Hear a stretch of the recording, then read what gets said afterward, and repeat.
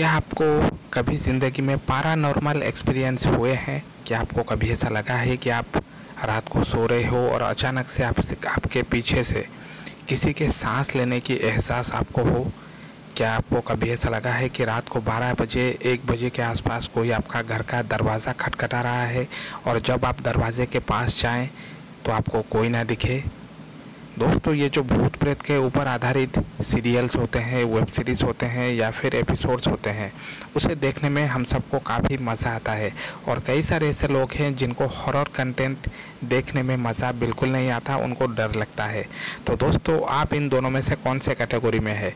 क्या आपको horror horror content देखना पसंद है? अगर हाँ तो नीचे येस लिख कर कॉमेंट करें।